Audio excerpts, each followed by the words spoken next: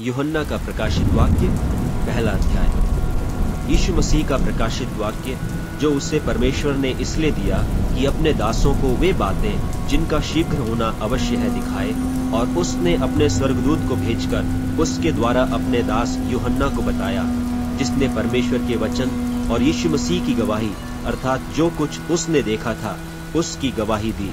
धन्य है वह जो इस भविष्यवाणी के वचन को पढ़ता है और वे जो सुनते हैं और इसमें लिखी हुई बातों को मानते हैं, क्योंकि समय निकट आया है। यूहन्ना की ओर से आसिया की सात कलिसियाओं के नाम, उसकी ओर से जो है और जो था और जो आने वाला है, और उन सात आत्माओं की ओर से जो उसके सिंहासन के सामने हैं, और यीशु मसीह की ओर से जो विश्वास, योग्य साक्षी और मरे हुओं में से जी उठने वालों में पहलौठा और पृथ्वी के राजाओं का हाकिम है, तुम्हें अनुग्रह और शांति मिलती रहे। जो हमसे प्रेम रखता है और जिसने अपने लोहू के द्वारा हमें पापों से छुड़ाया है और हमें एक राज्य और अपने पिता परमेश्वर के लिए याजक भी बना दिया, उसी की महिमा और पराक्रम युगानुयुग रहे। आमीन। देखो, वह बादलों के साथ आने वाला है और हर एक आँख उसे देखेगी, वरन जिन्होंने उसे बेधा था, वे भी उसे देखेंगे और पृथ्वी के सारे कुल उसके कारण छाती पीटेंगे। हाँ आमीन। प्रभु परमेश्वर, वह जो है और जो था और जो आने वाला है, जो सर्वशक्तिमान है, यह कहता है कि मैं ही अल्फ़ा और ओमीगा हूँ। मैं यूहन्ना जो तुम्हारा भाई और यीशु के क्लेश और राज्य और धीरज में तुम्हारा सहभागी हूँ।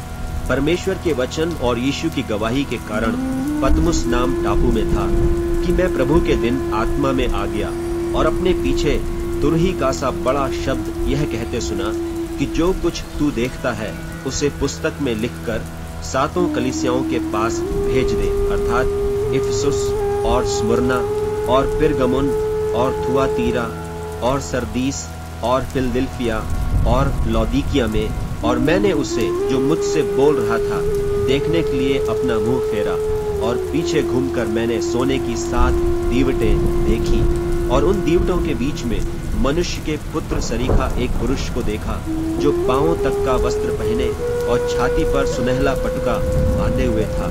उसके सिर और बाल श्वेत, ऊन, वरन पाले के से उज्जवल थे और उसकी आँखें आग की ज्वाला की नाई थी और उसके पाँव उत्तम पीतल के समान थे, जो मानो भट्टी में तपाए गए हो और उसका शब्द बहुत जल के शब्द की नाई था। और वह अपने दाहिने हाथ में सात तारे लिए हुए था, और उसके मुख से चोखी दोधारी तलवार निकलती थी, और उसका मुँह ऐसा प्रज्वलित था जैसा सूर्य कड़ी धूप के समय चमकता है। जब मैंने उसे देखा तो उसके पैरों पर मुर्दा सा गिर पड़ा, और उसने मुझ पर अपना दहिना हाथ रखकर यह कहा कि मत डर, मैं प्रथम और अंतिम और जीवता हूँ। मैं मर गया था, और अब देख, मैं युगान युग जीवता हूँ, और मृत्यु और अधलोक की कुंजियाँ मेरे ही पास हैं। इसलिए जो बातें तूने देखी हैं और जो बातें हो रही हैं और जो इसके बाद होने वाली हैं, उन सबको लिख ले। अर्थात उन सात तारों का भेद, जिन्हें तूने मेरे दहिने हाथ में देखा था, और उन सात सोने की दीवटों का भेद। वे सात तारे, सातों कलिसियाओं के दूध हैं, और वे सात दीवट, सात कलिसियाएँ हैं। यूहन्ना का प्रकाशित वाक्य दूसरा अध्याय। इफिसुस की कलिसिया के दूत को यह लिख कि जो सातों तारे अपने दहिने हाथ में लिए हुए है और सोने की सातों दीवटों के बीच में फिरता है, वह यह कहता है कि मैं तेरे काम और परिश्रम और तेरा धीरज जानता हूँ और यह भी कि तू बुरे लोगों को तो देख नहीं सकता और जो अपने आप को प्रेरित कहते हैं और है नहीं, उन्हें तूने परख कर झूठा पाया। और तू धीरज धरता है और मेरे नाम के लिए दुख उठाते उठाते थका नहीं। पर मुझे तेरे विरुद्ध यह कहना है कि तूने अपना पहला सा प्रेम छोड़ दिया है।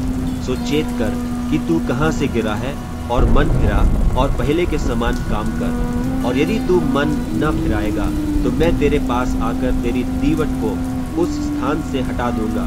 पर हाँ तुझ में यह बात तो है कि तू निकुलइयों के कामों से घृणा करता है, जिनसे मैं भी घृणा करता हूँ, जिसके कान हो वह सुन ले कि आत्मा कलिसियाओं से क्या कहता है। जो जय पाए, मैं उसे उस जीवन के पेड़ में से, जो परमेश्वर के स्वर्ग लोक में है, फल, खाने को दूँगा।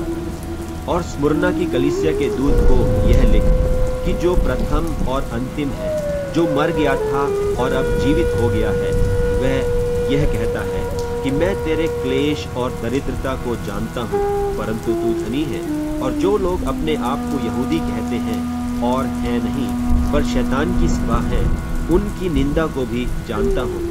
जो दुख तुझको झेलने होंगे, उनसे मत डर, क्योंकि देखो शैतान तुम में से कितनों को जेल खाने में डालने पर है, ताकि तुम परखे जाओ और तुम्हें दस दिन तक क्लेश उठाना होगा। प्राण देने तक विश्वासी रहे। तो मैं तुझे जीवन का मुकुट दूँगा। जिसके कान हो, वह सुन ले कि आत्मा कलिसियाओं से क्या कहता है। जो जय पाए, उसको दूसरी मृत्यु से हानि न पहुंचेगी। और फिर गमुन की कलिसिया के दूत को यह लिख कि जिसके पास दोधारी और चौखी तलवार है, वह यह कहता है कि मैं यह तो जानता हूँ कि तू वहाँ रहता है जहाँ शैतान का सिंहासन है और मेरे नाम पर स्थिर रहता है। और मुझ पर विश्वास करने से उन दिनों में भी पीछे नहीं हटा, जिनमें मेरा विश्वास योग्य साक्षी अंतिपास तुम में उस स्थान पर घात किया गया, जहाँ शैतान रहता है। पर मुझे तेरे विरुद्ध कुछ बातें कहनी है, क्योंकि तेरे यहाँ कितने तो ऐसे हैं जो बिलाम की शिक्षा को मानते हैं, जिसने बालाक को इसराइलियों के आगे ठोकर का कारण रखना सिखाया कि वे मूर्तों के बलिदान खाएँ और व्यभिचार करें। वैसे ही, तेरे यहाँ कितने तो ऐसे हैं, जो निकुलइयों की शिक्षा को मानते हैं। सो मन फिरा, नहीं तो मैं तेरे पास शीघ्र ही आकर अपने मुख की तलवार से उनके साथ लड़ूँगा। जिसके कान हो, वह सुन ले कि आत्मा कलिसियाओं से क्या कहता है। जो जय पाए, उसको मैं गुप्त मन्ना में से दूँगा, और उसे एक श्वेत पत्थर भी दूँगा, और उस पत्थर पर एक नाम लिखा हुआ होगा। जिसे उसके पाने वाले के सिवाय और कोई न जानेगा। और थुआथीरा की कलिसिया के दूत को यह लिख कि परमेश्वर का पुत्र जिसकी आँखें आग की ज्वाला की नाई और जिसके पाँव उत्तम पीतल के समान हैं, यह कहता है कि मैं तेरे कामों और प्रेम और विश्वास और सेवा और धीरज को जानता हूँ। और यह भी कि तेरे पिछले काम पहलों से बढ़कर हैं, पर मुझे तेरे विरुद्ध यह कहना है कि तू उस स्त्री, इजबेल को रहने देता है, जो अपने आप को भविष्य कहती है और मेरे दासों को व्यभिचार करने और मूर्तों के आगे के बलिदान खाने को सिखलाकर भरमाती है। मैंने उसको मन फिराने के लिए अवसर दिया, पर वह अपने व्यभिचार से मन फिराना नहीं चाहती। देख, मैं उसे खाट पर डालता हूँ, और जो उसके साथ व्यभिचार करते हैं, यदि वे भी उसके से कामों से मन न फिराएँगे तो उन्हें बड़े क्लेश में डालूँगा और मैं उसके बच्चों को मार डालूँगा। और तब सब कलिसियाएँ जान लेंगी कि हृदय और मन का परखने वाला मैं ही हूँ और मैं तुम में से हर एक को उसके कामों के अनुसार बदला दूँगा। पर तुम धुआधीरा के बाकी लोगों से जितने इस शिक्षा को नहीं मानते और उन बातों को जिन्हें शैतान की गहरी बातें कहते हैं नहीं जानते, यह कहता हूँ कि मैं तुम पर और बोझ न डालूँगा। पर हाँ जो तुम्हारे पास है, उसको मेरे आने तक थामे रहो। जो जय पाए और मेरे कामों के अनुसार अंत तक करता रहे, मैं उसे जाति जाति के लोगों पर अधिकार दूँगा और वह लोहे का राजदंड लिए हुए उन पर राज्य करेगा, जिस प्रकार कुम्हार के मिट्टी के बर्तन चकनाचूर हो जाते हैं, जैसे कि मैंने भी ऐसा ही अधिकार अपने पिता से पाया है, और मैं उसे भोर का तारा दूँगा, जिसके कान हो वह सुन ले कि आत्मा कलीसियाओं से क्या कहता है। युहन्ना का प्रकाशित वाक्य, तीसरा अध्याय। और सरदीस की कलीसिया के दूत को यह लिख कि जिसके पास परमेश्वर की सात आत्माएँ और सात तारे हैं, यह कहता है कि मैं तेरे कामों को जानता हूँ कि तू जीवता तो कहलाता है, पर है मरा हुआ। जागृत रहे और उन वस्तुओं को जो बाकी रह गई हैं और जो मिटने को थी, उन्हें दृढ़ कर क्योंकि मैंने तेरे किसी काम को अपने परमेश्वर के निकट पूरा नहीं पाया, सो चेत कर कि तूने किस रीति से शिक्षा प्राप्त की और सुनी थी और उसमें बना रहे और मन फिरा। और यदि तू जागृत न रहेगा तो मैं चोर की नाई आ जाऊँगा और तू कदापि न जान सकेगा कि मैं किस घड़ी तुझ पर आ पड़ूँगा। पर हाँ सरदीस में तेरे यहाँ कुछ ऐसे लोग हैं जिन्होंने अपने अपने वस्त्र अशुद्ध नहीं किए। वे श्वेत वस्त्र पहने हुए मेरे साथ घूमेंगे, क्योंकि वे इस योग्य हैं जो जय पाए, उसे इसी प्रकार श्वेत वस्त्र पहनाया जाएगा। और मैं उसका नाम जीवन की पुस्तक में से किसी रीति से न काटूँगा, पर उसका नाम अपने पिता और उसके स्वर्गदूतों के सामने मान लूँगा, जिसके कान हो वह सुन ले कि आत्मा कलिसियाओं से क्या कहता है। और फिलेडेल्फिया की कलिसिया के दूत को यह लिख कि जो पवित्र और सत्य है और जो दाऊद की कुंजी रखता है, जिसके खोले हुए को कोई बंद नहीं कर सकता और बंद किए हुए को कोई खोल नहीं सकता, वह यह कहता है कि मैं तेरे कामों को जानता हूँ। देख, मैंने तेरे सामने एक द्वार खोल रखा है, जिसे कोई बंद नहीं कर सकता, कि तेरी सामर्थ थोड़ी सी है और तूने मेरे वचन का पालन किया है और मेरे नाम का इनकार नहीं किया। देख, मैं शैतान के उन सभा वालों को तेरे वश में कर दूँगा, जो यहूदी बन बैठे हैं। पर है नहीं, वरन झूठ बोलते हैं। देख, मैं ऐसा करूँगा कि वे आकर तेरे चरणों में दंडवत करेंगे, और यह जान लेंगे कि मैंने तुझसे प्रेम रखा है। तब चौबीसों प्राचीन सिंहासन पर बैठने वाले के सामने गिर पड़ेंगे, और उसे जो युगानुयुग जीवता है, प्रणाम करेंगे, और अपने अपने मुकुट सिंहासन के सामने यह कहते हुए डाल देंगे कि हे हमारे प्रभु और परमेश्वर, तू ही महिमा और आदर और सामर्थ्य के योग्य है, क्योंकि तू ही ने सब वस्तुएँ सृजी और वे तेरी ही इच्छा से थी और सजी गई। जो जय पाए, उसे मैं अपने परमेश्वर के मंदिर में एक खंभा बनाऊँगा और वह फिर कभी बाहर न निकलेगा।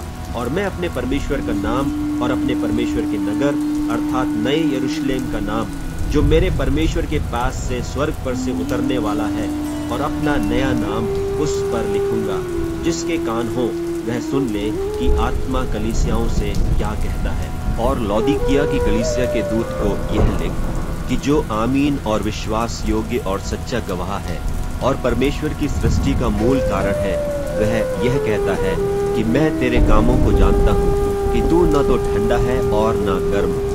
भला होता कि तू ठंडा या गर्म होता तो इसलिए कि तू गुनगुना है, और न ठंडा है, और न गर्म।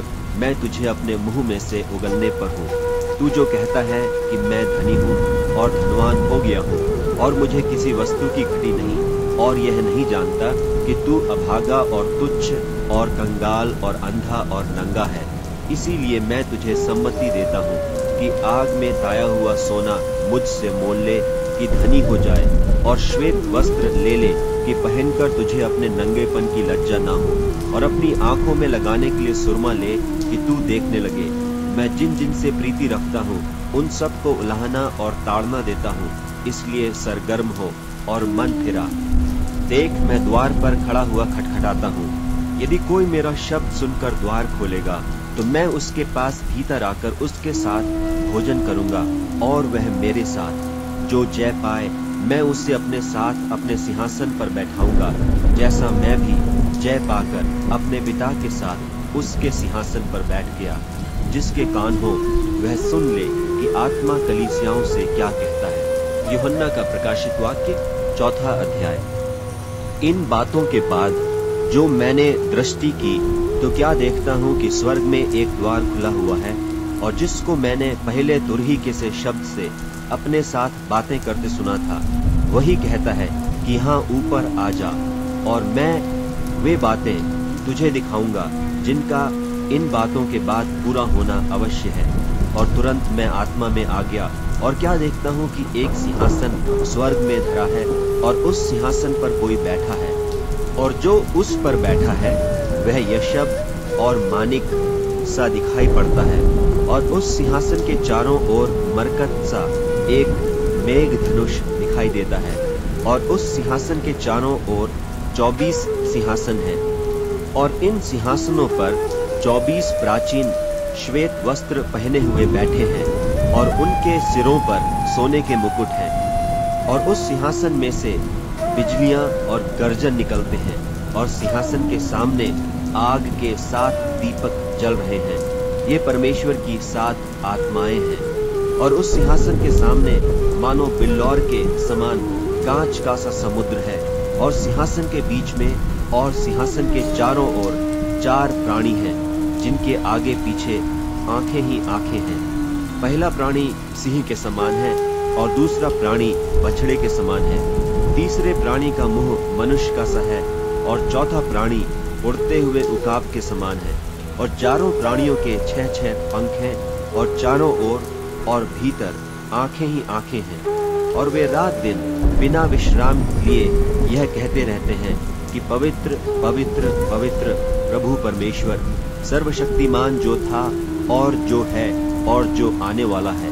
और जब वे प्राणी उसकी जो सिंहासन पर बैठा है और जो युगानुयुग जीवता है, महिमा और आदर और धन्यवाद करेंगे, तब चौबीसों प्राचीन सिंहासन पर बैठने वाले के सामने गिर पड़ेंगे। और उसे जो युगानुयुग जीवता है, प्रणाम करेंगे और अपने अपने मुकुट सिंहासन के सामने यह कहते हुए डाल देंगे कि हे हमारे प्रभु और परमेश्वर, तू ही महिमा और आदर और सामर्थ्य के योग्य है, क्योंकि तू ही ने सब वस्तुएँ सृजी और वे तेरी ही इच्छा से थी और सजी गई। युहन्ना का प्रकाशित वाक्य पांचवा अध्याय। और जो सिंहासन पर बैठा था मैंने उसके दाहिने हाथ में एक पुस्तक देखी, जो भीतर और बाहर लिखी हुई थी, और वह सात मुहर लगाकर बंद की गई थी। फिर मैंने एक बलवंत स्वर्गदूत को देखा, जो ऊँचे शब्द से यह प्रचार करता था कि इस पुस्तक के खोलने और उसकी मुहरें तोड़ने के योग्य कौन है, और न स्वर्ग में, न पृथ्वी पर, न पृथ्वी के नीचे कोई उस पुस्तक को खोलने या उस पर दृष्टि डालने के योग्य निकला। और मैं फूट फूट कर रोने लगा, क्योंकि उस पुस्तक के खोलने या उस पर दृष्टि करने के योग्य कोई न मिला। तब उन प्राचीनों में से एक ने मुझसे कहा, मत रो। देख, यहूदा के गोत्र का वह सिंह, जो दाऊद का मूल है, उस पुस्तक को खोलने और उसकी सातों मुहरें तोड़ने के लिए जयवंत हुआ है। और मैंने उस सिंहासन और चारों प्राणियों और उन प्राचीनों के बीच में, मानो एक बध किया हुआ मेमना खड़ा देखा।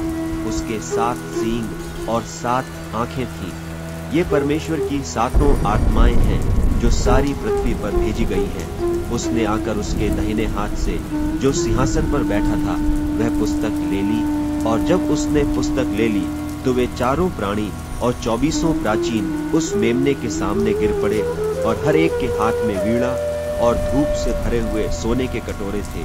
ये तो पवित्र लोगों की प्रार्थनाएँ हैं। और वे यह नया गीत गाने लगे कि तू इस पुस्तक के लेने और उसकी मोहरें खोलने के योग्य है, क्योंकि तूने बद होकर अपने लोहू से हर एक कुल और भाषा और लोग और जाति में से परमेश्वर के लिए लोगों को मोल लिया है और उन्हें हमारे परमेश्वर के लिए एक राज्य और याजक बनाया और वे पृथ्वी पर राज्य करते हैं।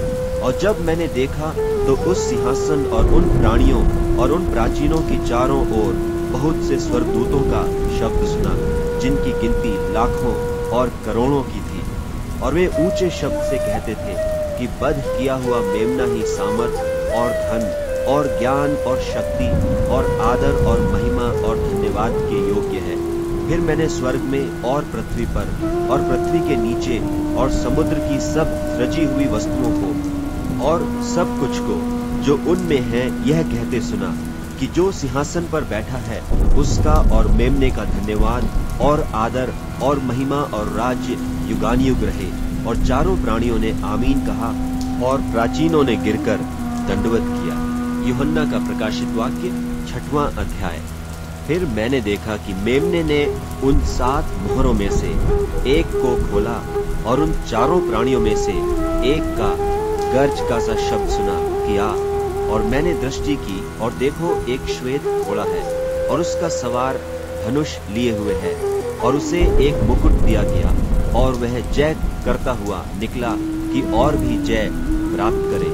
और जब उसने दूसरी मुहर खोली तो मैंने दूसरे प्राणी को यह कहते सुना कि आ, फिर एक और घोड़ा निकला, जो लाल रंग का था।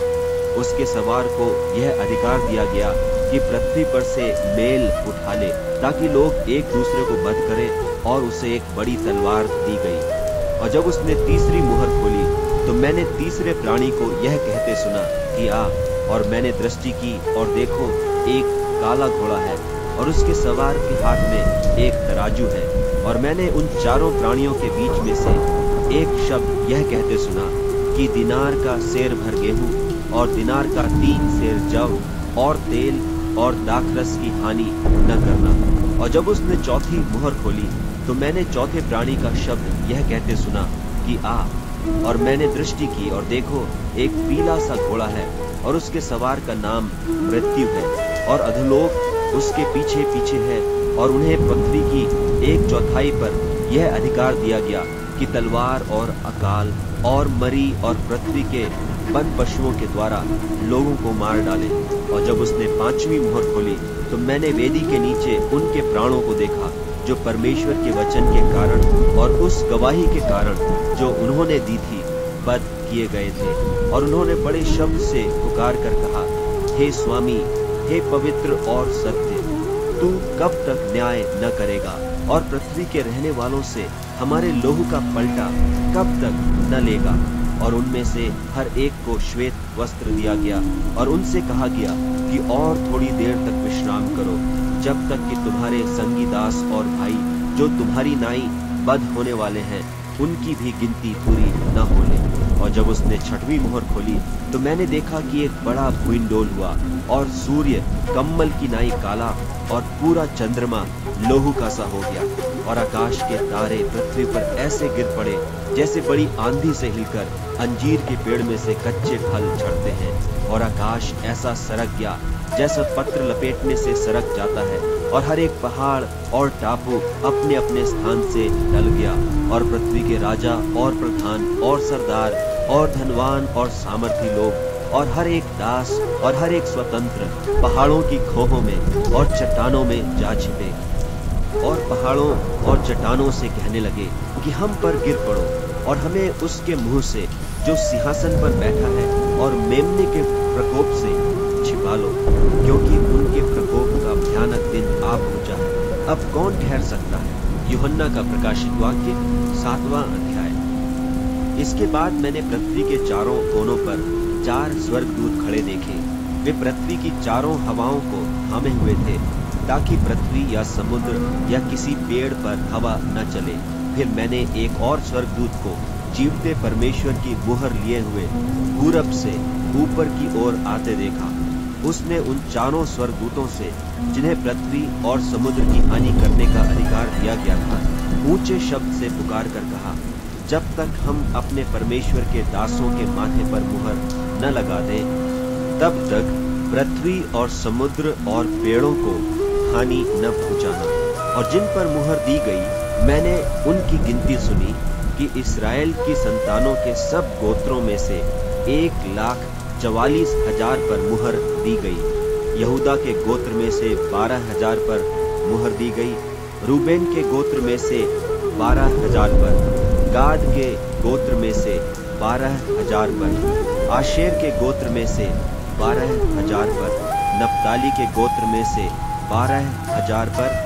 मनशी के गोत्र में से बारह हज़ार पर। शमौन के गोत्र में से बारह हज़ार पर, लेवी के गोत्र में से बारह हज़ार पर, इस्साकार के गोत्र में से बारह हज़ार पर, जबुलून के गोत्र में से बारह हज़ार पर, यूसुफ के गोत्र में से बारह हज़ार पर और बिन्यामीन के गोत्र में से बारह हज़ार पर मुहर दी गई। इसके बाद मैंने दृष्टि की और देखो, हर एक जाति और कुल और लोग और भाषा में से एक ऐसी बड़ी भीड़ जिसे कोई गिन नहीं सकता था। श्वेत वस्त्र पहने और अपने हाथों में खजूर की डालियाँ लिए हुए सिंहासन के सामने और मेमने के सामने खड़ी है और बड़े शब्द से पुकार कर कहती है कि उद्धार के लिए हमारे परमेश्वर का जो सिंहासन पर बैठा है और मेमने का जय जयकार हो और सारे स्वर्गदूत उस सिंहासन और प्राचीनों और चारों प्राणियों के चारों ओर खड़े हैं। फिर वे सिंहासन के सामने मुँह के बल गिर पड़े और परमेश्वर को दंडवत करके कहा, आमीन। हमारे परमेश्वर की स्तुति और महिमा और ज्ञान और धन्यवाद और आदर और सामर्थ और शक्ति युगानुयुग बनी रहे। आमीन। इस पर प्राचीनों में से एक ने मुझसे कहा, ये श्वेत वस्त्र पहने हुए कौन है और कहाँ से आए हैं? मैंने उससे कहा, हे स्वामी, तू ही जानता है। उसने मुझसे कहा, ये वे हैं जो उस बड़े क्लेश में से निकलकर आए हैं, इन्होंने अपने अपने वस्त्र मेमने के लोहू में धोकर श्वेत किए हैं। इसी कारण वे परमेश्वर के सिंहासन के सामने हैं और उसके मंदिर में दिन रात उसकी सेवा करते हैं और जो सिंहासन पर बैठा है, वह उनके ऊपर अपना तंबू तानेगा। वे फिर भूखे और प्यासे न होंगे और न उन पर धूप, न कोई तपन पड़ेगी, क्योंकि मेमना जो सिंहासन के बीच में है, उनकी रखवाली करेगा और उन्हें जीवन रूपी जल के सोतों के पास ले जाया करेगा और परमेश्वर उनकी आँखों से सब आँसू पहुँच डालेगा। युहन्ना का प्रकाशित वाक्य, आठवां अध्याय। और जब उसने सातवीं मोहर खोली तो स्वर्ग में आध घड़ी तक सन्नाटा छा गया और मैंने उन सातों स्वर्गदूतों को, जो परमेश्वर के सामने खड़े रहते हैं, देखा और उन्हें सात तुरहियाँ दी गई। फिर एक और स्वर्गदूत सोने का धूपदान लिए हुए आया और वेदी के निकट खड़ा हुआ और उसको बहुत धूप दिया गया कि सब पवित्र लोगों की प्रार्थनाओं के साथ उस सोनहली वेदी पर जो सिंहासन के सामने है चढ़ाए और उस धूप का धुआँ पवित्र लोगों की प्रार्थनाओं सहित स्वर्गदूत के हाथ से परमेश्वर के सामने पहुँच गया और स्वर्गदूत ने धूपदान लेकर उसमें वेदी की आग भरी और पृथ्वी पर डाल दी, और गर्जन और शब्द और बिजलियाँ और भूइंडोल होने लगा, और वे सातों स्वर्गदूत, जिनके पास सात तुरहियाँ थी, फूकने को तैयार हुए। पहले स्वर्गदूत ने तुरही फूकी, और लोहू से मिले हुए ओले और आग उत्पन्न हुई, और पृथ्वी पर डाली गई, और पृथ्वी की एक तिहाई जल गई, और पेड़ों की एक तिहाई जल गई, और सब हरी घास भी जल गई। और दूसरे स्वर्गदूत ने तुरही फूकी तो मानो आग सा जलता हुआ एक बड़ा पहाड़ समुद्र में डाला गया और समुद्र का एक तिहाई लोहू हो गया और समुद्र की एक तिहाई सृजी हुई वस्तुएँ जो सजीव थी, मर गईं और एक तिहाई जहाज़ नाश हो गया और तीसरे स्वर्गदूत ने तुरही फूकी और एक बड़ा तारा जो मशाल की नाई जलता था, स्वर्ग से टूटा और नदियों की एक तिहाई पर और पानी के सोतों पर आ पड़ा और उस तारे का नाम नाग दौना कहलाता है और एक तिहाई पानी नाग दौना सा कड़वा हो गया और बहुतेरे मनुष्य उस पानी के कड़वे हो जाने से मर गए और चौथे स्वर्गदूत ने तुरही फूकी और सूर्य की एक तिहाई और चाँद की एक तिहाई और तारों की एक तिहाई पर आपत्ति आई। यहाँ तक कि उनका एक तिहाई अंग अंधेरा हो गया और दिन की एक तिहाई में उजाला न रहा और वैसे ही रात में भी। और जब मैंने फिर देखा तो आकाश के बीच में एक उकाब को उड़ते और ऊँचे शब्द से यह कहते सुना कि उन तीन स्वर्गदूतों की दुल्ही के शब्दों के कारण जिनका फूकना अभी बाकी है, पृथ्वी के रहने वालों पर हाय हाय हाय। युहन्ना का प्रकाशित वाक्य, नौवा अध्याय। और जब पाँचवें स्वर्गदूत ने दुल्ही फूकी तो मैंने स्वर्ग से पृथ्वी पर एक तारा गिरता हुआ देखा। और उसे अथाह कुंड की कुंजी दी गई। और उसने अथाह कुंड को खोला और कुंड में से बड़ी भट्टी का सा धुआँ उठा और कुंड के धुएँ से सूर्य और वायु अंधियारी हो गई और उस धुएँ में से पृथ्वी पर टिड्डियाँ निकली और उन्हें पृथ्वी के बिच्छुओं की सी शक्ति दी गई। और उनसे कहा गया कि न पृथ्वी की घास को, न किसी हरियाली को, न किसी पेड़ को हानि पहुंचाओ। केवल उन मनुष्यों को जिनके माथे पर परमेश्वर की मुहर नहीं है और उन्हें मार डालने का तो नहीं, पर पाँच महीने तक लोगों को पीड़ा देने का अधिकार दिया गया। और उनकी पीड़ा ऐसी थी जैसे बिच्छू के डंक मारने से मनुष्य को होती है।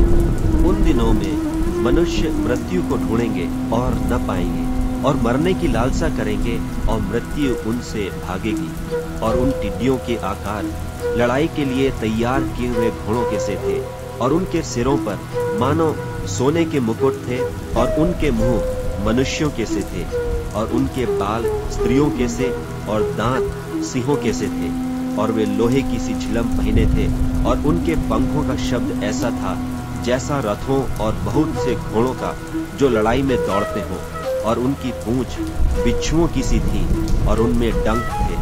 और उन्हें पाँच महीने तक मनुष्यों को दुख पहुँचाने की जो सामर्थ्य थी, वह उनकी पूछों में थी। अथा कुंड का दूत उन पर राजा था। उसका नाम इब्रानी में अबद्दोन और यूनानी में अपुल्योन है। पहली विपत्ति बीत चुकी। देखो, अब इसके बाद दो विपत्तियाँ और होने वाली हैं। और जब छठवें स्वर्गदूत ने तुरही फूकी तो जो सोने की वेदी परमेश्वर के सामने है उसके सींगों में से मैंने ऐसा शब्द सुना, मानो कोई छठवें स्वर्गदूत से जिसके पास तुरही थी, कह रहा है कि उन चार स्वर्गदूतों को जो बड़ी नदी फुरात के पास बंधे हुए हैं, खोल दे, और वे चारों दूत खोल दिए गए, जो उस घड़ी और दिन और महीने और वर्ष के लिए मनुष्यों की एक तिहाई के मार डालने को तैयार किए गए थे, और फौजों के सवारों की गिनती बीस करोड़ थी। मैंने उनकी गिनती सुनी और मुझे इस दर्शन में घोड़े और उनके ऐसे सवार दिखाई दिए, जिनकी झिल में आग और धूम्रकांत और गंधक की सी थी, और उन घोड़ों के सिर, सिंहों के सिरों के से थे, और उनके मुँह से आग और धुआँ और गंधक निकलती थी। इन तीनों मरियों, अर्थात आग और धुएँ और गंधक से, जो उसके मुँह से निकलती थी, मनुष्यों की एक तिहाई मार डाली गई। क्योंकि उन घोड़ों की सामर्थ उनके मुँह और उनकी पूछों में थी। इसलिए कि उनकी पूछें सांपों की सी थी और उन पूछों के सिर भी थे और इन्हीं से वे पीड़ा पहुंचाते थे। और बाकी मनुष्यों ने जो उन मरियों से न मरे थे, अपने हाथों के कामों से मन न फिराया। कि दुष्टात्माओं की और सोने और चांदी और पीतल और पत्थर और काठ की मूर्तों की पूजा न करें, जो न देख, न सुन, न चल सकती और जो खून और टोना और व्यभिचार और चोरियाँ उन्होंने की थी, उनसे मन न फिराया। युहन्ना का प्रकाशित वाक्य, दसवां अध्याय। फिर मैंने एक और बली स्वर्गदूत को बादल ओढ़े हुए स्वर्ग से उतरते देखा। उसके सिर पर मेघ, धनुष था और उसका मुँह सूर्य का सा और उसके पाँव आग के खंबे के से थे। और उसके हाथ में एक छोटी सी खुली हुई पुस्तक थी। उसने अपना दहिना पाँव समुद्र पर और बाया पृथ्वी पर रखा और ऐसे बड़े शब्द से चिल्लाया जैसा सिंह गरजता है। और जब वह चिल्लाया तो गर्जन के सात शब्द सुनाई दिए। और जब सातों गर्जन के शब्द सुनाई दे चुके तो मैं लिखने पर था और मैंने स्वर्ग से यह शब्द सुना कि जो बातें गर्जन के उन सात शब्दों से सुनी हैं, उन्हें गुप्त रख और मत लिख। और जिस स्वर्गदूत को मैंने समुद्र और पृथ्वी पर खड़े देखा था। उसने अपना दहीना हाथ स्वर्ग की ओर उठाया और जो युगान युग जीवता रहेगा और जिसने स्वर्ग को और जो कुछ उसमें है और पृथ्वी को और जो कुछ उस पर है और समुद्र को और जो कुछ उसमें है, सृजा, उसी की शपथ खाकर कहा, अब तो और देर न होगी। वरन सातवें स्वर्गदूत के शब्द देने के दिनों में जब वह तुरही फूकने पर होगा तो परमेश्वर का गुप्त मनोरथ उस सुसमाचार के अनुसार जो उसने अपने दास भविष्यताओं को दिया, पूरा होगा। और जिस शब्द करने वाले को मैंने स्वर्ग से बोलते सुना था, वह फिर मेरे साथ बातें करने लगा कि जा, जो स्वर्गदूत समुद्र और पृथ्वी पर खड़ा है, उसके हाथ में की खुली हुई पुस्तक ले ले। और मैंने स्वर्गदूत के पास जाकर कहा, यह छोटी पुस्तक मुझे दे। और उसने मुझसे कहा, ले, इसे खा जा, और यह तेरा पेट कड़वा तो करेगी, पर तेरे मुँह में मधु सी मीठी लगेगी। सो मैं वह छोटी पुस्तक उस स्वर्गदूत के हाथ से लेकर खा गया। वह मेरे मुँह में मधु सी मीठी तो लगी, पर जब मैं उसे खा गया तो मेरा पेट कड़वा हो गया। तब मुझसे यह कहा गया कि तुझे बहुत से लोगों और जातियों और भाषाओं और राजाओं पर फिर भविष्यवाणी करनी होगी। युहन्ना का प्रकाशित वाक्य, ग्यारहवा अध्याय। और मुझे लग्गी के समान एक सरकंडा दिया गया, और किसी ने कहा, उठ, परमेश्वर के मंदिर और वेदी, और उसमें भजन करने वालों को नाप ले, और मंदिर के बाहर का आँगन छोड़ दे, उसे मत नाप, क्योंकि वह अन्य जातियों को दिया गया है, और वे पवित्र नगर को बयालीस महीने तक रौंदेंगी। और मैं अपने दो गवाहों को यह अधिकार दूँगा कि टाट ओढ़े हुए एक हज़ार दो सौ साठ दिन तक भविष्यवाणी करें। ये वे ही जैतून के दो पेड़ और दो दीवट हैं जो पृथ्वी के प्रभु के सामने खड़े रहते हैं। और यदि कोई उनको हानि पहुंचाना चाहता है तो उनके मुँह से आग निकलकर उनके बैरियों को भस्म करती है। और यदि कोई उनको हानि पहुंचाना चाहेगा तो अवश्य इसी रीति से मार डाला जाएगा। इन्हें अधिकार है कि आकाश को बंद करें, कि उनकी भविष्यवाणी के दिनों में मेह न बरसे, और उन्हें सब पानी पर अधिकार है कि उसे लोहू बनाएँ। और जब जब चाहें, तब तब पृथ्वी पर हर प्रकार की आपत्ति लाएँ। और जब वे अपनी गवाही दे चुकेंगे तो वह पशु जो अथाह कुंड में से निकलेगा, उनसे लड़कर उन्हें जीतेगा और उन्हें मार डालेगा। और उनकी लोथें उस बड़े नगर के चौक में पड़ी रहेंगी। जो आत्मिक रीति से सदोम और मिसर कहलाता है, जहाँ उनका प्रभु भी क्रूस पर चढ़ाया गया था। और सब लोगों और कुलों और भाषाओं और जातियों में से लोग उनकी लोथें साढ़े तीन दिन तक देखते रहेंगे और उनकी लोथें कब्र में रखने न देंगे। और पृथ्वी के रहने वाले उनके मरने से आनंदित और मगन होंगे और एक दूसरे के पास भेंट भेजेंगे। क्योंकि इन दोनों भविष्यवक्ताओं ने पृथ्वी के रहने वालों को सताया था। और साढ़े तीन दिन के बाद परमेश्वर की ओर से जीवन की आत्मा उनमें बैठ गई और वे अपने पाओ के बल खड़े हो गए और उनके देखने वालों पर बड़ा भय छा गया और उन्हें स्वर्ग से एक बड़ा शब्द सुनाई दिया कि यहाँ ऊपर आओ, यह सुन वे बादल पर सवार होकर अपने बैरियों के देखते देखते स्वर्ग पर चढ़ गए। फिर उसी घड़ी एक बड़ा भूइंडोल हुआ और नगर का दसवां अंश गिर पड़ा और उस भूइंडोल से सात हज़ार मनुष्य मर गए और शेष डर गए और स्वर्ग के परमेश्वर की महिमा की। दूसरी विपत्ति बीत चुकी। देखो, तीसरी विपत्ति शीघ्र आने वाली है। और जब सातवें दूत ने तुरही फूकी तो स्वर्ग में इस विषय के बड़े बड़े शब्द होने लगे कि जगत का राज्य हमारे प्रभु का और उसके मसीह का हो गया, और वह युगान युग राज्य करेगा, और चौबीसों प्राचीन जो परमेश्वर के सामने अपने अपने सिंहासन पर बैठे थे, मुँह के बल गिरकर परमेश्वर को दंडवत करके यह कहने लगे कि हे सर्वशक्तिमान प्रभु परमेश्वर, जो है और जो था, हम तेरा धन्यवाद करते हैं कि तूने अपनी बड़ी सामर्थ काम में लाकर राज्य किया है। और अन्य जातियों ने क्रोध किया और तेरा प्रकोप आ पड़ा और वह समय आ पहुँचा है कि मरे हुओं का न्याय किया जाए और तेरे दास भविष्यवक्ताओं और पवित्र लोगों को और उन छोटे बड़ों को जो तेरे नाम से डरते हैं बदला दिया जाए और पृथ्वी के बिगाड़ने वाले नाश किए जाएँ। और परमेश्वर का जो मंदिर स्वर्ग में है, वह खोला गया और उसके मंदिर में उसकी वाचा का संदूक दिखाई दिया और बिजलियाँ और शब्द और गर्जन और भूडोल हुए और बड़े ओले पड़े। युहन्ना का प्रकाशित वाक्य बारवा अध्याय। फिर स्वर्ग पर एक बड़ा चिन्ह दिखाई दिया।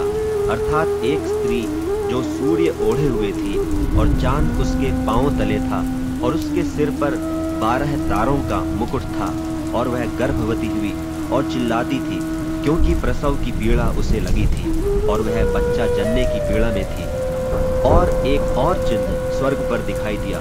और देखो, एक बड़ा लाल अजगर था, जिसके सात सिर और दस सींग थे, और उसके सिरों पर सात राज मुकुट थे, और उसकी पूंछ ने आकाश के तारों की एक तिहाई को खींचकर पृथ्वी पर डाल दिया, और वह अजगर उस स्त्री के सामने जो जच्चा थी, खड़ा हुआ, कि जब वह बच्चा जने तो उसके बच्चे को निगल जाए, और वह बेटा जनी जो लोहे का दंड लिए हुए सब जातियों पर राज्य करने पर था और उसका बच्चा एकाएक परमेश्वर के पास और उसके सिंहासन के पास उठाकर पहुँचा दिया गया। और वह स्त्री उस जंगल को भाग गई, जहाँ परमेश्वर की ओर से उसके लिए एक जगह तैयार की गई थी कि वहाँ वह एक हज़ार दो सौ साठ दिन तक पाली जाए। फिर स्वर्ग पर लड़ाई हुई मिकाइल और उसके स्वर्गदूत अजगर से लड़ने को निकले और अजगर और उसके दूत उससे लड़े, परंतु प्रबल न हुए और स्वर्ग में उनके लिए फिर जगह न रही और वह बड़ा अजगर, अर्थात वही पुराना सांप जो इबलीस और शैतान कहलाता है और सारे संसार का भरमाने वाला है, पृथ्वी पर गिरा दिया गया और उसके दूत उसके साथ गिरा दिए गए। फिर मैंने स्वर्ग पर से यह बड़ा शब्द आते हुए सुना कि अब हमारे परमेश्वर का उद्धार और सामर्थ और राज्य और उसके मसीह का अधिकार प्रकट हुआ है, क्योंकि हमारे भाइयों पर दोष लगाने वाला जो रात दिन हमारे परमेश्वर के सामने उन पर दोष लगाया करता था, गिरा दिया गया। और वे मेमने के लोहू के कारण और अपनी गवाही के वचन के कारण उस पर जयवंत हुए और उन्होंने अपने प्राणों को प्रिय न जाना, यहाँ तक कि मृत्यु भी सहली। इस कारण हे स्वर्गो और उनमें के रहने वालों मगन हो। हे पृथ्वी और समुद्र, तुम पर हाय, क्योंकि शैतान बड़े क्रोध के साथ तुम्हारे पास उतर आया है, क्योंकि जानता है कि उसका थोड़ा ही समय और बाकी है। और जब अजगर ने देखा कि मैं पृथ्वी पर गिरा दिया गया हूँ तो उस स्त्री को जो बेटा जनी थी सताया और उस स्त्री को बड़े उकाब के दो पंख दिए गए कि सांप के सामने से उड़कर जंगल में उस जगह पहुँच जाए, जहाँ वह एक समय और समयों और आधे समय तक पाली जाए और सांप ने उस स्त्री के पीछे अपने मुँह से नदी की नाई पानी बहाया कि उसे इस नदी से बहा दे। परंतु पृथ्वी ने उस स्त्री की सहायता की और अपना मुँह खोलकर उस नदी को, जो अजगर ने अपने मुँह से बहाई थी, पी लिया और अजगर स्त्री पर क्रोधित हुआ और उसकी शेष संतान से, जो परमेश्वर की आज्ञाओं को मानते और यीशु की गवाही देने पर स्थिर है, लड़ने को गया। और वह समुद्र के बालू पर जा खड़ा हुआ। युहन्ना का प्रकाशित वाक्य, तेरहवा अध्याय। और मैंने एक पशु को समुद्र में से निकलते हुए देखा, जिसके दस सींग और सात सिर थे, और उसके सींगों पर दस राजमुकुट और उसके सिरों पर निंदा के नाम लिखे हुए थे। और जो पशु मैंने देखा, वह चीते की नाई था, और उसके पाँव भालू के से और मुँह सिंह का सा था, और उस अजगर ने अपनी सामर्थ और अपना सिंहासन और बड़ा अधिकार उसे दे दिया। और मैंने उसके सिरों में से एक पर ऐसा भारी घाव लगा देखा। मानो वह मरने पर है। फिर उसका प्राण घातक घाव अच्छा हो गया। और सारी पृथ्वी के लोग उस पशु के पीछे पीछे अचंभा करते हुए चले। और उन्होंने अजगर की पूजा की, क्योंकि उसने पशु को अपना अधिकार दे दिया था। और यह कहकर पशु की पूजा की कि इस पशु के समान कौन है? कौन उससे लड़ सकता है? और बड़े बोल बोलने और निंदा करने के लिए उसे एक मुँह दिया गया और उसे बयालीस महीने तक काम करने का अधिकार दिया गया और उसने परमेश्वर की निंदा करने के लिए मुँह खोला कि उसके नाम और उसके तंबू अर्थात स्वर्ग के रहने वालों की निंदा करे। और उसे यह अधिकार दिया गया कि पवित्र लोगों से लड़े और उन पर जय पाए।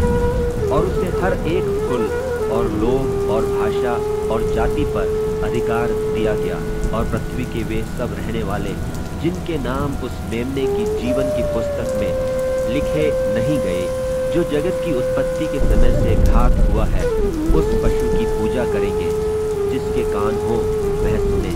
जिसको कैद में पढ़ना है, वह कैद में पड़ेगा। जो तलवार से मारेगा अवश्य है कि वह तलवार से मारा जाएगा। पवित्र लोगों का धीरज और विश्वास इसी में है।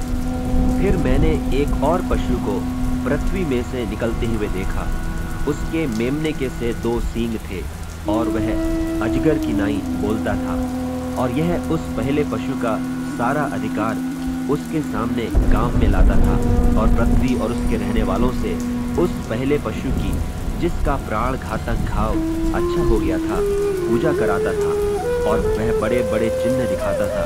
यहाँ तक कि मनुष्यों के सामने स्वर्ग से पृथ्वी पर आग बरसा देता था और उन चिन्हों के कारण जिन्हें उस पशु के सामने दिखाने का अधिकार उसे दिया गया था, वह पृथ्वी के रहने वालों को इस प्रकार भरमाता था कि पृथ्वी के रहने वालों से कहता था कि जिस पशु के तलवार लगी थी, वह जी गया है, उसकी मूरत बनाओ। और उसे उस पशु की मूरत में प्राण डालने का अधिकार दिया गया कि पशु की मूरत बोलने लगे और जितने लोग उस पशु की मूरत की पूजा न करें, उन्हें मरवा डाले। और उसने छोटे, बड़े, धनी, कंगाल, स्वतंत्र दास सबके दहिने हाथ या उनके माथे पर एक एक छाप करा दी कि उसको छोड़ जिस पर छाप अर्थात उस पशु का नाम या उसके नाम का अंक हो और कोई लेन देन न कर सके। ज्ञान इसी में है, जिसे बुद्धि हो, वह इस पशु का अंक जोड़ ले, क्योंकि वह मनुष्य का अंक है और उसका अंक छह सौ छियासठ है। युहन्ना का प्रकाशित वाक्य, चौदवा अध्याय। फिर मैंने दृष्टि की और देखो वह मेमना, सियोन पहाड़ पर खड़ा है और उसके साथ एक लाख चवालीस हज़ार जन है, जिनके माथे पर उसका और उसके पिता का नाम लिखा हुआ है। और स्वर्ग से मुझे एक ऐसा शब्द सुनाई दिया, जो जल की बहुत धाराओं और बड़े गर्जन का सा शब्द था। और जो शब्द मैंने सुना, वह ऐसा था, मानो वीणा बजाने वाले वीणा बजाते हो, और वे सिंहासन के सामने और चारों प्राणियों और प्राचीनों के सामने मानो एक नया गीत गा रहे थे। और उन एक लाख चवालीस हज़ार जनों को छोड़ जो पृथ्वी पर से मोल लिए गए थे, कोई वह गीत न सीख सकता था। ये वे हैं जो स्त्रियों के साथ अशुद्ध नहीं हुए, पर कुंवारे हैं। ये वे ही हैं कि जहाँ कहीं मेमना जाता है, वे उसके पीछे हो लेते हैं। ये तो परमेश्वर के निमित्त पहले फल होने के लिए मनुष्यों में से मोल लिए गए हैं, और उनके मुँह से कभी झूठ न निकला था। वे निर्दोष हैं। फिर मैंने एक और स्वर्गदूत को आकाश के बीच में उड़ते हुए देखा, जिसके पास पृथ्वी पर के रहने वालों की हर एक जाति और कुल और भाषा और लोगों को सुनाने के लिए सनातन सुसमाचार था। और उसने बड़े शब्द से कहा, परमेश्वर से डरो और उसकी महिमा करो, क्योंकि उसके न्याय करने का समय आ पहुँचा है। और उसका भजन करो जिसने स्वर्ग और पृथ्वी और समुद्र और जल के सोते बनाए। फिर इसके बाद एक और दूसरा स्वर्गदूत यह कहता हुआ आया कि गिर पड़ा। वह बड़ा बाबुल गिर पड़ा, जिसने अपने व्यविचार की कोपमय मदरा सारी जातियों को पिलाई है। फिर इनके बाद एक और स्वर्गदूत बड़े शब्द से यह कहता हुआ आया कि जो कोई उस पशु और उसकी मूर्त की पूजा करे और अपने माथे या अपने हाथ पर उसकी छाप ले। तो वह परमेश्वर के प्रकोप की मेरी मदिरा, जो उसके क्रोध के कटोरे में डाली गई है, पिएगा और पवित्र स्वर्गदूतों के सामने और मेमने के सामने आग और गंधक की पीड़ा में पड़ेगा और उनकी पीड़ा का धुआँ युगानुयुग उठता रहेगा। और जो उस पशु और उसकी मूर्त की पूजा करते हैं और जो उसके नाम की छाप लेते हैं, उनको रात दिन चैन न मिलेगा। पवित्र लोगों का धीरज इसी में है, जो परमेश्वर की आज्ञाओं को मानते और यीशु पर विश्वास रखते हैं। और मैंने स्वर्ग से यह शब्द सुना कि लिख, जो मुर्दे प्रभु में मरते हैं, वे अब से धन्य हैं। आत्मा कहता है हाँ क्योंकि वे अपने परिश्रमों से विश्राम पाएँगे और उनके कार्य उनके साथ हो लेते हैं। और मैंने दृष्टि की, और देखो, एक उजला बादल है, और उस बादल पर मनुष्य के पुत्र सरीखा कोई बैठा है, जिसके सिर पर सोने का मुकुट और हाथ में चोखा हंसुआ है। फिर एक और स्वर्गदूत ने मंदिर में से निकलकर उससे, जो बादल पर बैठा था, बड़े शब्द से पुकार कर कहा कि अपना हंसुआ लगाकर लवनी कर, क्योंकि लवने का समय आ पहुँचा है। इसलिए कि पृथ्वी की खेती पक चुकी है। तो जो बादल पर बैठा था, उसने पृथ्वी पर अपना हंसुआ लगाया और पृथ्वी की लवनी की गई। फिर एक और स्वर्गदूत उस मंदिर में से निकला जो स्वर्ग में है और उसके पास भी चोखा हसुआ था। फिर एक और स्वर्गदूत जिसे आग पर अधिकार था, वेदी में से निकला और जिसके पास चोखा हसुआ था। उससे ऊँचे शब्द से कहा, अपना चोखा हसुआ लगाकर पृथ्वी की दाख लता के गुच्छे काट ले, क्योंकि उसकी दाख पक चुकी है। और उस स्वर्गदूत ने पृथ्वी पर अपना हसुआ डाला और पृथ्वी की दाख लता का फल काटकर अपने परमेश्वर के प्रकोप के बड़े रस के कुंड में डाल दिया और नगर के बाहर उस रस के कुंड में दाग रौंदे गए और रस के कुंड में से इतना लोह निकला कि घोड़ों के लगामों तक पहुँचा और सौ कोस तक बह गया। युहन्ना का प्रकाशित वाक्य पंद्रवा अध्याय। फिर मैंने स्वर्ग में एक और बड़ा और अद्भुत चिन्ह देखा। अर्थात सात स्वर्गदूत, जिनके पास सातों पिछली विपत्तियाँ थीं, क्योंकि उनके हो जाने पर परमेश्वर के प्रकोप का अंत है। और मैंने आग से मिले हुए कांच का सा एक समुद्र देखा, और जो उस पशु पर और उसकी मूरत पर और उसके नाम के अंक पर जयवंत हुए थे, उन्हें उस कांच के समुद्र के निकट परमेश्वर की वीड़ाओं को लिए हुए खड़े देखा और वे परमेश्वर के दास मूसा का गीत और मेमने का गीत गा गा कर कहते थे कि हे सर्वशक्तिमान प्रभु परमेश्वर, तेरे कार्य बड़े और अद्भुत हैं। हे युग युग के राजा, तेरी चाल ठीक और सच्ची है। हे प्रभु, कौन तुझसे न डरेगा और तेरे नाम की महिमा न करेगा? क्योंकि केवल तू ही पवित्र है और सारी जातियाँ आकर तेरे सामने दंडवत करेंगी। क्योंकि तेरे न्याय के काम प्रकट हो गए हैं, और इसके बाद मैंने देखा कि स्वर्ग में साक्षी के तंबू का मंदिर खोला गया, और वे सातों स्वर्गदूत, जिनके पास सातों विपत्तियाँ थी, शुद्ध और चमकती हुई, मणि पहने हुए, छाती पर सुनहले पटके बांधे हुए मंदिर से निकले, और उन चारों प्राणियों में से एक ने उन सात स्वर्गदूतों को, परमेश्वर के जो युगानुयुग जीवता है, प्रकोप से भरे हुए सात सोने के कटोरे दिए और परमेश्वर की महिमा और उसकी सामर्थ्य के कारण मंदिर धुएँ से भर गया। और जब तक उन सातों स्वर्गदूतों की सातों विपत्तियाँ समाप्त न हुई तब तक कोई मंदिर में न जा सका। युहन्ना का प्रकाशित वाक्य? सोलवा अध्याय। फिर मैंने मंदिर में किसी को ऊँचे शब्द से उन सातों स्वर्गदूतों से यह कहते सुना कि जाओ परमेश्वर के प्रकोप के सातों कटोरों को पृथ्वी पर उंडेल दो। सो पहले ने जाकर अपना कटोरा पृथ्वी पर उंडेल दिया और उन मनुष्यों के, जिन पर पशु की छाप थी और जो उसकी मूर्त की पूजा करते थे, एक प्रकार का बुरा और दुखदायी फोड़ा निकला। और दूसरे ने अपना कटोरा समुद्र पर उंडेल दिया और वह मरे हुए का सा लोहू बन गया और समुद्र में का हर एक जीवधारी मर गया। और तीसरे ने अपना कटोरा नदियों और पानी के स्रोतों पर उंडेल दिया और वे लोहू बन गए। और मैंने पानी के स्वर्गदूत को यह कहते सुना कि हे पवित्र जो है और जो था, तू न्यायी है और तूने यह न्याय किया, क्योंकि उन्होंने पवित्र लोगों और भविष्यवक्ताओं का लोहू खाया था और तूने उन्हें लोहू पिलाया, क्योंकि वे इसी योग्य हैं। फिर मैंने वेदी से यह शब्द सुना कि हाँ हे सर्वशक्तिमान प्रभु परमेश्वर, तेरे निर्णय ठीक और सच्चे हैं। और चौथे ने अपना कटोरा सूर्य पर उंडेल दिया और उसे मनुष्यों को आग से झुलसा देने का अधिकार दिया गया और मनुष्य बड़ी तपन से झुलस गए और परमेश्वर के नाम की, जिससे इन विपत्तियों पर अधिकार है, निंदा की और उसकी महिमा करने के लिए मन न फिराया। और पाँचवें ने अपना कटोरा उस पशु के सिंहासन पर उंडेल दिया और उसके राज्य पर अंधेरा छा गया और लोग पीड़ा के मारे अपनी अपनी जीप चबाने लगे और अपनी पीड़ाओं और फोड़ों के कारण स्वर्ग के परमेश्वर की निंदा की और अपने अपने कामों से मन न फिराया और छठवें ने अपना कटोरा बड़ी नदी फुरात पर उंडेल दिया और उसका पानी सूख गया कि पूर्व दिशा के राजाओं के लिए मार्ग तैयार हो जाए। और मैंने उस अजगर के मुँह से और उस पशु के मुँह से और उस झूठे भविष्यवक्ता के मुँह से तीन अशुद्ध आत्माओं को मेंढकों के रूप में निकलते देखा। ये चिन्ह दिखाने वाली दुष्टात्मा है। जो सारे संसार के राजाओं के पास निकलकर इसलिए जाती हैं कि उन्हें सर्वशक्तिमान परमेश्वर के उस बड़े दिन की लड़ाई के लिए इकट्ठा करें। देख, मैं चोर की नाई आता हूँ।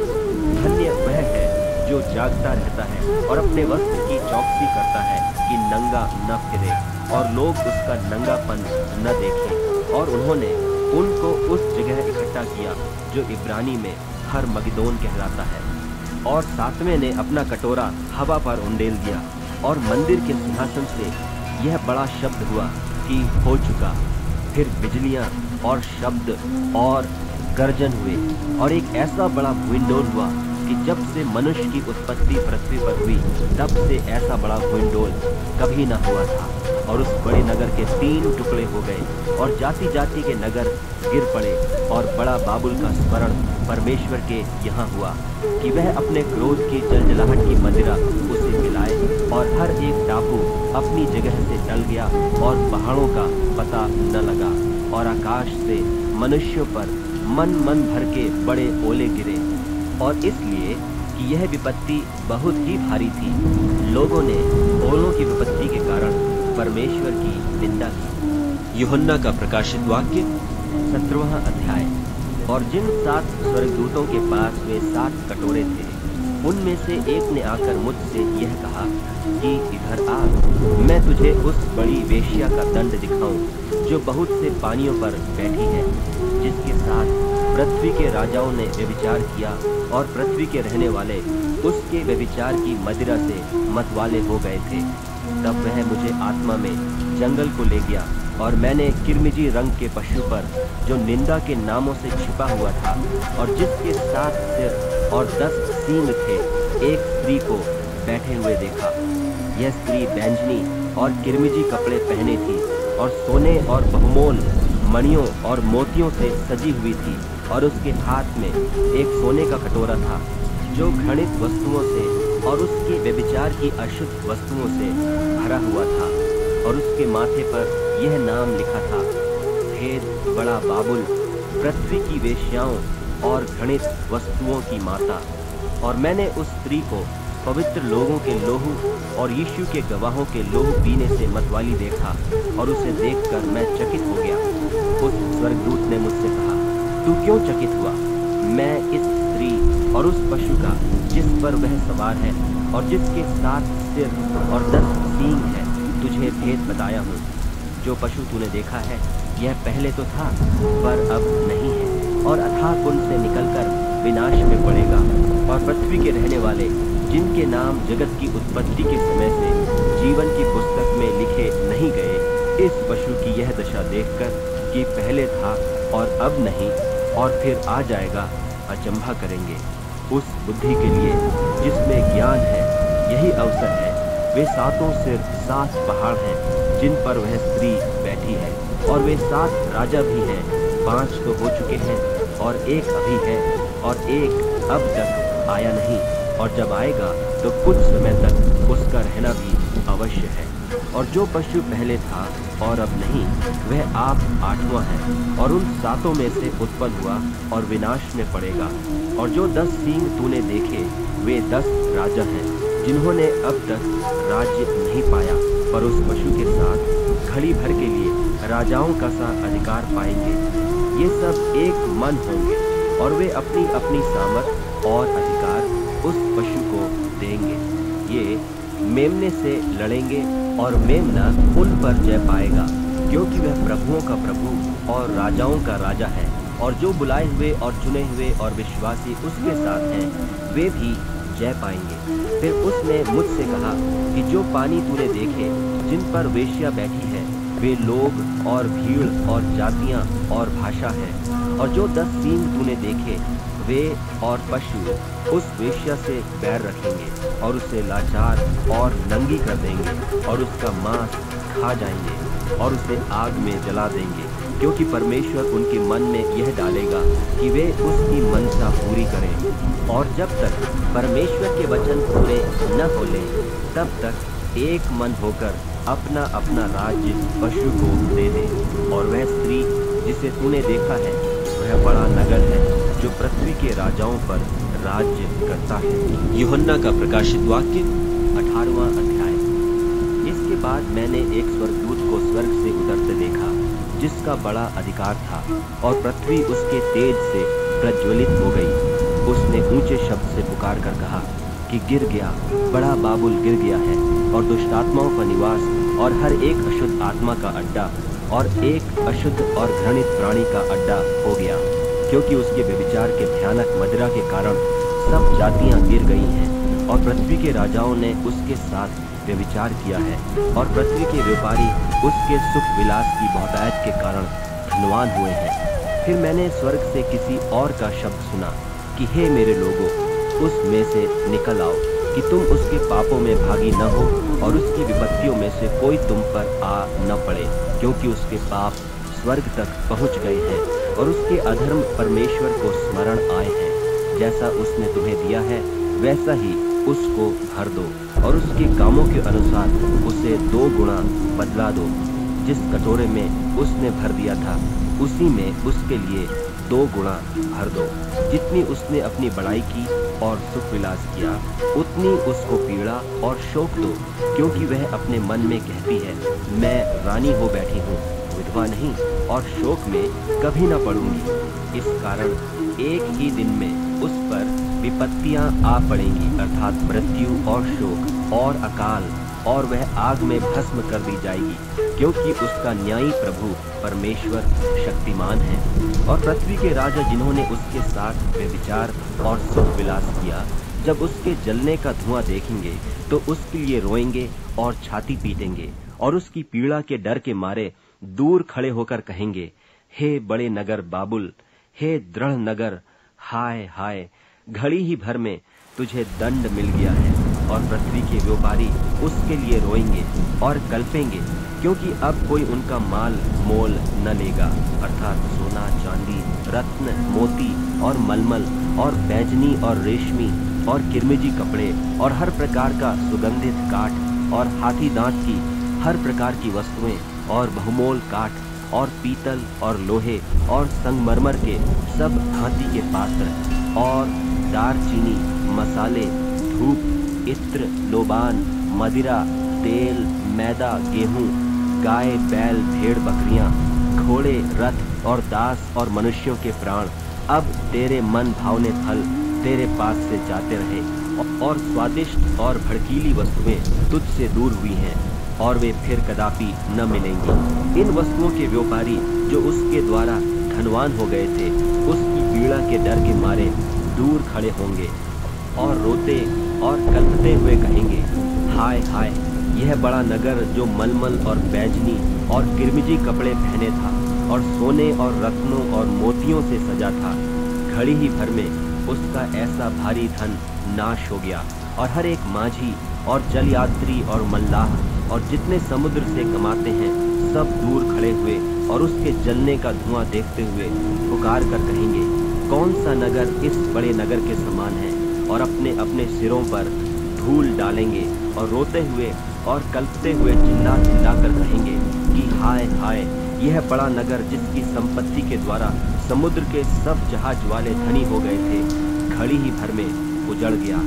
हे स्वर्ग और हे पवित्र लोगों और प्रेरितों और भविष्य वक्ताओं उस पर आनंद करो, क्योंकि परमेश्वर ने न्याय करके उससे तुम्हारा पलटा लिया है। फिर एक बलवंत स्वर्गदूत ने बड़ी चक्की के पाट के समान एक पत्थर उठाया और यह कहकर समुद्र में फेंक दिया कि बड़ा नगर बाबुल ऐसे ही बड़े बल से गिराया जाएगा और फिर कभी उसका पता न मिलेगा।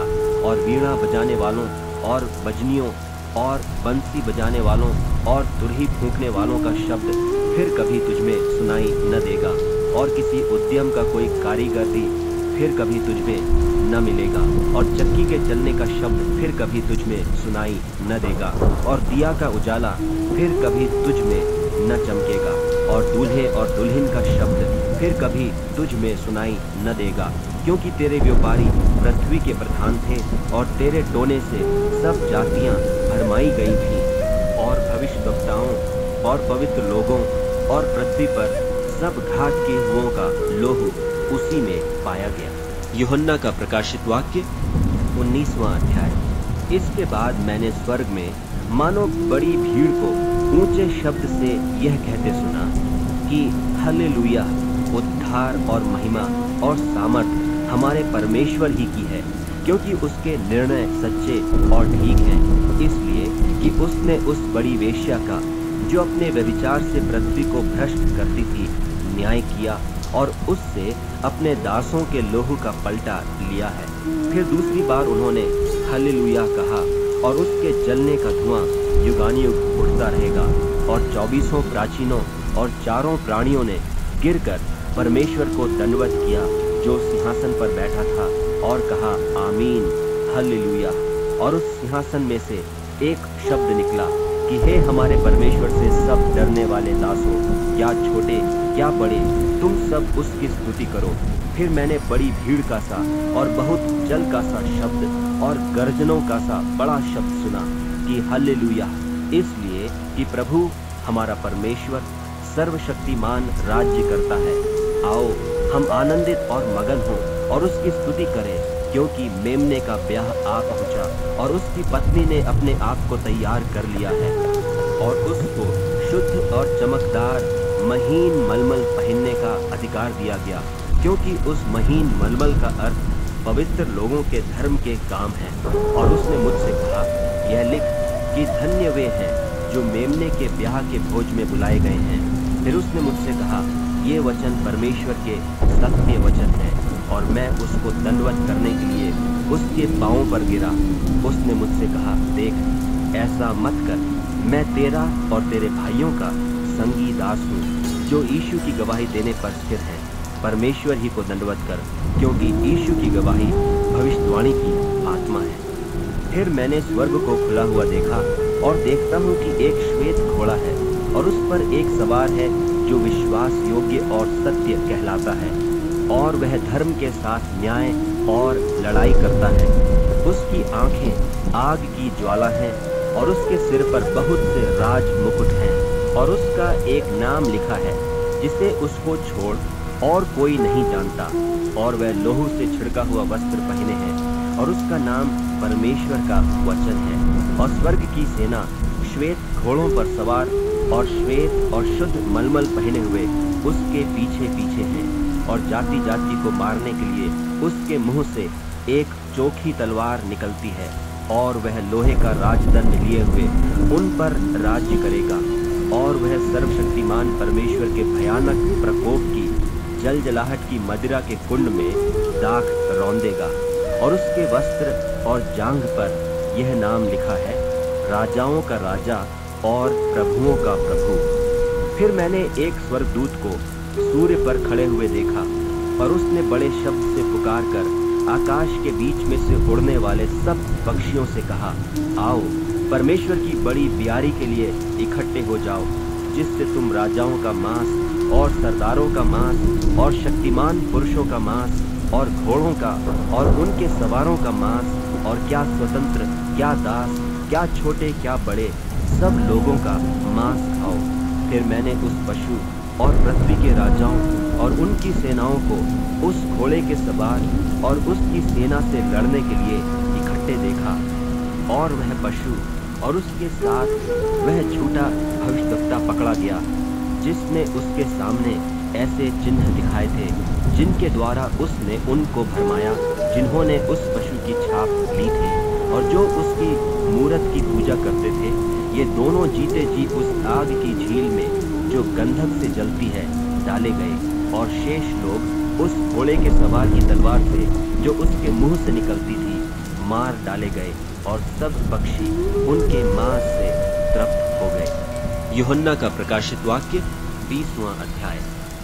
फिर मैंने एक स्वर्गदूत को स्वर्ग से उतरते देखा, जिसके हाथ में अथाह कुंड की कुंजी और एक बड़ी जंजीर थी, और उसने उस अजगर, अर्थात पुराने सांप को, जो इबलीस और शैतान है, पकड़ के हज़ार वर्ष के लिए बाँध दिया, और उसे अथाह कुंड में डालकर बंद कर दिया और उस पर मुहर कर दी कि वह हज़ार वर्ष के पूरे होने तक जाति जाति के लोगों को फिर न भरमाए। इसके बाद अवश्य है कि थोड़ी देर के लिए फिर खोला जाए। फिर मैंने सिंहासन देखे और उन पर लोग बैठ गए और उनको न्याय करने का अधिकार दिया गया और उनकी आत्माओं को भी देखा, जिनके सिर यीशु की गवाही देने और परमेश्वर के वचन के कारण काटे गए थे। और जिन्होंने न उस पशु की और न उसकी मूर्त की पूजा की थी और न उसकी छाप अपने माथे और हाथों पर ली थी, वे जीवित होकर मसीह के साथ हज़ार वर्ष तक राज्य करते रहे। और जब तक ये हज़ार वर्ष पूरे न हुए, तब तक शेष मरे हुए न जी उठे। यह तो पहला प्रथमोत्थान है। धन्य और पवित्र वह है जो इस पहले पुनरुत्थान का भागी है। ऐसों पर दूसरी मृत्यु का कुछ भी अधिकार नहीं, पर वे परमेश्वर और मसीह के याजक होंगे और उसके साथ हज़ार वर्ष तक राज्य करेंगे। और जब हज़ार वर्ष पूरे हो चुकेंगे तो शैतान कैद से छोड़ दिया जाएगा और उन जातियों को जो पृथ्वी के चारों ओर होंगी, अर्थात याजूज और माजूज को, जिनकी गिनती समुद्र की बालू के बराबर होगी, भरमाकर लड़ाई के लिए इकट्ठे करने को निकलेगा।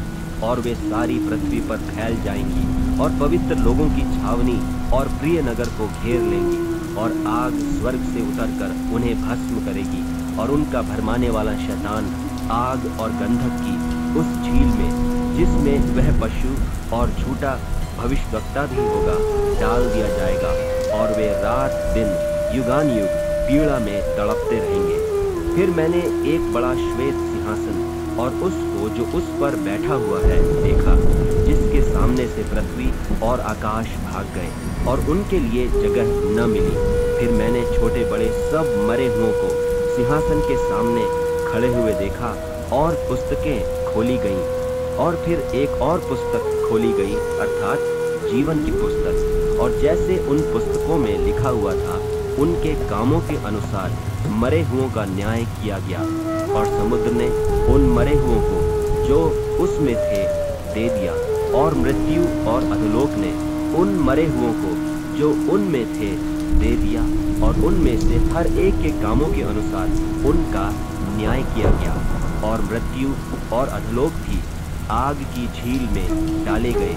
यह आग की झील तो दूसरी मृत्यु है, और जिस किसी का नाम जीवन की पुस्तक में लिखा हुआ न मिला वह आग की झील में डाला गया। युहन्ना का प्रकाशित वाक्य इक्कीसवा अध्याय। फिर मैंने नए आकाश और नई पृथ्वी को देखा, क्योंकि पहला आकाश और पहली पृथ्वी जाती रही थी और समुद्र भी न रहा। फिर मैंने पवित्र नगर, नए यरूशलेम को स्वर्ग पर से परमेश्वर के पास से उतरते देखा और वह उस दुल्हन के समान थी, जो अपने पति के लिए श्रृंगार किए हो। फिर मैंने सिंहासन में से किसी को ऊँचे शब्द से यह कहते हुए सुना कि देख, परमेश्वर का डेरा मनुष्यों के बीच में है। वह उनके साथ डेरा करेगा और वे उसके लोग होंगे और परमेश्वर आप उनके साथ रहेगा और उनका परमेश्वर होगा और वह उनकी आँखों से सब आँसू पहुँच डालेगा और उसके बाद मृत्यु न रहेगी और न शोक, न विलाप, न पीड़ा रहेगी। पहली बातें जाती रही और जो सिंहासन पर बैठा था, उसने कहा कि देख, मैं सब कुछ नया कर देता हूँ। फिर उसने कहा कि लिख ले, क्योंकि ये वचन विश्वास के योग्य और सत्य हैं। फिर उसने मुझसे कहा, ये बातें पूरी हो गई हैं। मैं अल्फ़ा और ओमिगा आदि और अंत हूँ। मैं प्यासे को जीवन के जल के सोते में से सेहत में पिलाऊँगा। जो जय पाए वही इन वस्तुओं का वारिस होगा, और मैं उसका परमेश्वर होऊँगा, और वह मेरा पुत्र होगा। पर डरपोकों, और अविश्वासियों, और घिनौनों, और हत्यारों, और व्यभिचारियों, और टोन्हों, और मूर्ति पूजकों और सब झूठों का भाग उस झील में मिलेगा, जो आग और गंधक से जलती रहती है। यह दूसरी मृत्यु है। फिर जिन सात स्वरदूतों के पास सात पिछली विपत्तियों से भरे हुए सात कटोरे थे। उनमें से एक मेरे पास आया और मेरे साथ बातें करके कहा, इधर आ, मैं तुझे दुल्हन अर्थात मेमने की पत्नी दिखाऊँगा और वह मुझे आत्मा में एक बड़े और ऊँचे पहाड़ पर ले गया और पवित्र नगर यरूशलेम को स्वर्ग पर से, परमेश्वर के पास से उतरते दिखाया। परमेश्वर की महिमा उसमें थी और उसकी ज्योति बहुत ही बहुमोल पत्थर अर्थात बिल्लौर के समान यशब की नाई स्वच्छ थी और उसकी शहर पनाह बड़ी ऊँची थी और उसके बारह फाटक और फाटकों पर बारह स्वर्गदूत थे और उन पर इसराइलियों के बारह गोत्रों के नाम लिखे थे। पूर्व की ओर तीन फाटक, उत्तर की ओर तीन फाटक, दक्षिण की ओर तीन फाटक और पश्चिम की ओर तीन फाटक थे और नगर की शहरपना की बारह नेवें थीं। और उन पर मेमने के बारह प्रेरितों के बारह नाम लिखे थे। और जो मेरे साथ बातें कर रहा था, उसके पास नगर और उसके फाटकों और उसकी शहरपना को नापने के लिए एक सोने का गज था। और वह नगर चौकोर बसा हुआ था और उसकी लंबाई चौड़ाई के बराबर थी। और उसने उस गज से नगर को नापा तो साढ़े सात सौ कोस का निकला। उसकी लंबाई और चौड़ाई और ऊंचाई बराबर थी और उसने उसकी शहरपनाह को मनुष्य के अर्थात स्वर्गदूत के नाप से नापा तो 144 हाथ निकली और उसकी शहर पनाह की जुड़ाई यशब की थी और नगर ऐसे चोखे सोने का था जो स्वच्छ कांच के समान हो और उस नगर की नेवें हर प्रकार के बहुमोल पत्थरों से संवारी हुई थी। पहली नेव यशब की थी, दूसरी नीलमणि की, तीसरी लालड़ी की, चौथी मरकत की, पांचवी गोमेदक की, छठवीं माणिक्य की, सातवीं पीतमणि की, आठवीं पेरोज की, नवीं पुखराज की, दसवीं लहसनिये की, ग्यारहवीं धूम्रकांत की, बारहवीं याकूत की और बारहों फाटक बारह मोतियों के थे। एक एक फाटक एक एक मोती का बना था और नगर की सड़क स्वच्छ कांच के समान चोखे सोने की थी और मैंने उसमें कोई मंदिर न देखा, क्योंकि सर्वशक्तिमान प्रभु परमेश्वर और मेमना उसका मंदिर है और उस नगर में सूर्य और चाँद के उजाले का प्रयोजन नहीं, क्योंकि परमेश्वर के तेज से उसमें उजाला हो रहा है और मेमना उसका दीपक है और जाति जाति के लोग उसकी ज्योति में चले फिरेंगे और पृथ्वी के राजा अपने अपने तेज का सामान उसमें लाएँगे और उसके फाटक दिन को कभी बंद न होंगे और रात वहाँ न होगी और लोग जाति जाति के तेज और विभव का सामान उसमें लाएँगे और उसमें कोई अपवित्र वस्तु या घृणित काम करने वाला या झूठ का गढ़ने वाला किसी रीति से प्रवेश न करेगा। पर केवल वे लोग जिनके नाम मेमने के जीवन की पुस्तक में लिखे हैं। युहन्ना का प्रकाशित वाक्य, बाईसवां अध्याय। फिर उसने मुझे बिल्लौर की सी झलकती हुई जीवन के जल की एक नदी दिखाई, जो परमेश्वर और मेमने के सिंहासन से निकलकर उस नगर की सड़क के बीचों बीच बहती थी और नदी के इस पार और उस पार जीवन का पेड़ था। उसमें बारह प्रकार के फल लगते थे। और वह हर महीने फलता था और उस पेड़ के पत्तों से जाति जाति के लोग चंगे होते थे और फिर श्राप न होगा और परमेश्वर और मेमने का सिंहासन उस नगर में होगा और उसके दास उसकी सेवा करेंगे और उसका मुँह देखेंगे और उसका नाम उनके माथों पर लिखा हुआ होगा और फिर रात न होगी और उन्हें दीपक और सूर्य के उजाले का प्रयोजन न होगा। क्योंकि प्रभु परमेश्वर उन्हें उजियाला देगा और वे युगान युग राज्य करेंगे। फिर उसने मुझसे कहा, ये बातें विश्वास के योग्य और सत्य हैं और प्रभु ने जो भविष्यवक्ताओं की आत्माओं का परमेश्वर है, अपने स्वर्गदूत को इसलिए भेजा कि अपने दासों को वे बातें जिनका शीघ्र पूरा होना अवश्य है, दिखाए। देख, मैं शीघ्र आने वाला हूँ। धन्य है वह जो इस पुस्तक की भविष्यवाणी की बातें मानता है। मैं वही यूहन्ना हूँ, जो ये बातें सुनता और देखता था। और जब मैंने सुना और देखा तो जो स्वर्गदूत मुझे ये बातें दिखाता था, मैं उसके पाँव पर दंडवत करने के लिए गिर पड़ा। और उसने मुझसे कहा, देख, ऐसा मत कर, क्योंकि मैं तेरा और तेरे भाई भविष्यवक्ताओं और इस पुस्तक की बातों के मानने वालों का संगी दास हूँ। परमेश्वर ही को दंडवत कर। फिर उसने मुझसे कहा, इस पुस्तक की भविष्यवाणी की बातों को बंद मत कर, क्योंकि समय निकट है। जो अन्याय करता है, वह अन्याय ही करता रहे, और जो मलिन है, वह मलिन बना रहे।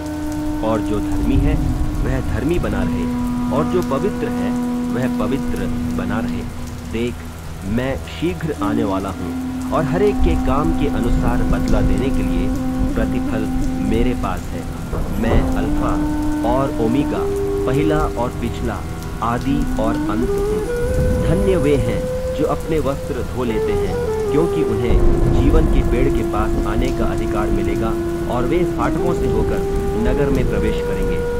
पर कुत्ते और टोन्हे और व्यभिचारी और हत्यारे और मूर्ति पूजक और हर एक झूठ का चाहने वाला और गढ़ने वाला बाहर रहेगा।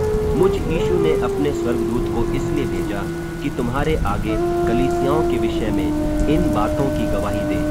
मैं दाऊद का मूल और वंश और भोर का चमकता हुआ तारा हूँ और आत्मा और दुल्हन दोनों कहती हैं, आ। और सुनने वाला भी कहे कि, आ। और जो प्यासा हो, वह आए और जो कोई चाहे, वह जीवन का जल सेत में ले। मैं हर एक को, जो इस पुस्तक की भविष्यवाणी की बातें सुनता है गवाही देता हूँ कि यदि कोई मनुष्य इन बातों में कुछ पढ़ाए तो परमेश्वर उन विपत्तियों को, जो इस पुस्तक में लिखी है, उस पर बढ़ाएगा।